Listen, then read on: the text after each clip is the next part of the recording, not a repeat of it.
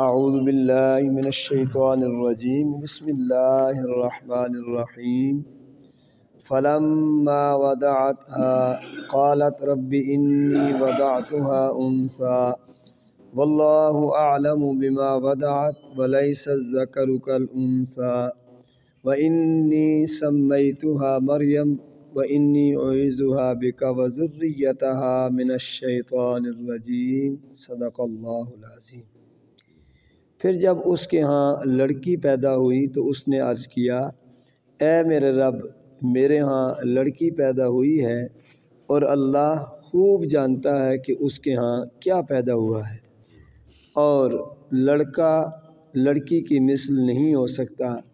اور میں نے اس کا نام مریم رکھا اور میں اس کو اور اس کی اولاد کو شیطان مردود کے شر سے تیری پناہ میں دیتی ہوں۔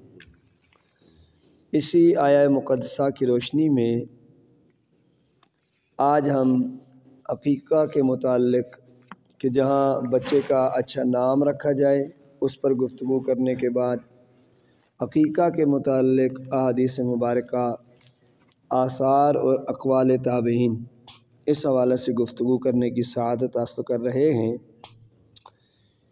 امام بخاری، امام محمد بن اسماعیل بخاری علیہ الرحمہ روایت کرتے ہیں، حضرت سلمان بن عامر رضی اللہ تعالی عنہ بیان کرتے ہیں کہ رسول اللہ صلی اللہ علیہ وسلم نے فرمایا، لڑکے کے ساتھ عقیقہ ہے، اس کی طرف سے خون بہاؤ اور اس سے گندگی کو دور کرو۔ صحیح بخاری جلد نمبر دو، صفحہ نمبر آٹھ سو بائیس پر۔ اسی طرح پھر امام ابو عیسیٰ ترمزی علیہ الرحمہ ترمزی شریف کے اندر روایت کرتے ہیں کہ حضرت ام قرض رضی اللہ تعالی عنہا روایت کرتی ہیں کہ انہوں نے رسول کریم صلی اللہ علیہ وسلم سے عقیقہ کے متعلق سوال کیا۔ آپ نبی رحمت صلی اللہ علیہ وسلم نے فرمایا، لڑکے کی طرف سے دو بکریاں اور لڑکی کی طرف سے ایک بکری ذبح کرو، اس میں کوئی حرج نہیں کہ وہ نر ہو یا مادہ۔ دونوں بکرے ہوں یا دونوں بکریاں ہوں یا دو، ایک بکرا ہو، ایک بکری ہو، کوئی حرج نہیں ہے۔ اسی طرح حضرت سامورہ رضی اللہ تعالی عنہ بیان کرتے ہیں کہ رسول اللہ صلی اللہ علیہ وسلم نے فرمایا، لڑکا اپنے عقیقے کے بدلے میں گروی ہے، ولادت کے ساتویں دن اس کی طرف سے ذبح کیا جائے، اس کا نام رکھا جائے اور اس کے بال اتارے جائیں۔ اسی طرح حضرت ابن عباس رضی اللہ تعالی عنہما بیان کرتے ہیں کہ رسول اللہ صلی اللہ علیہ وسلم نے جناب حسنین کریمین، حضرت حسن مشتبہ رضی اللہ تعالی عنہم اور حضرت حسین رضی اللہ تعالی عنہما کی طرف سے ایک ایک مینڈا ذبح کیا۔ حضرت ابن عباس رضی اللہ تعالیٰ عنہما بیان کرتے ہیں کہ نبی پاک صلی اللہ علیہ وسلم نے حضرت حسن اور حضرت حسین رضی اللہ تعالیٰ عنہما کی طرف سے دو دو مینڈے ذبح کیے۔ صحیح بخاری اور جامع ترمزی میں جن احادیث کا ذکر ہے، وہ سب سنن ابی داود اور سنن نسائی میں بھی مذکور ہیں۔ یعنی صحاح ستہ کی کتب کے اندر یہ احادیث موجود ہیں۔ اسی طرح محمد بن علی بن حسین روایت کرتے ہیں، کہ حضرت فاطمہ بنت رسول صلی اللہ علیہ وسلم نے حضرت حسن اور حضرت حسین رضی اللہ تعالیٰ عنہما کے بالوں کے ہم وزن چاندی صدقہ کی اور امام مالک نے یکیہ بن سعید سے روایت کیا کہ آپ نے حضرت علی کے دو بیٹوں، حضرت حسن اور حضرت حسین رضی اللہ تعالیٰ عنہما کا عقیقہ کیا۔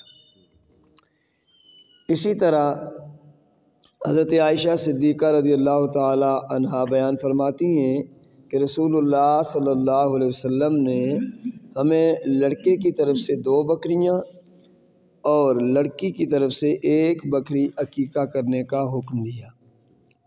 نیز حضرت عائشہ صدیقہ رضی اللہ تعالی عنہ نے فرمایا کہ لڑکے کی طرف سے دو بکریاں سنت ہیں اور لڑکی کی طرف سے ایک بکری سنت ہے۔ حضرت ابن عمر رضی اللہ تعالیٰ عنہ سے جو بھی عقیقہ کے متعلق سوال کرتا تھا، وہ اس کو عقیقہ کرنے کا حکم دیتے تھے۔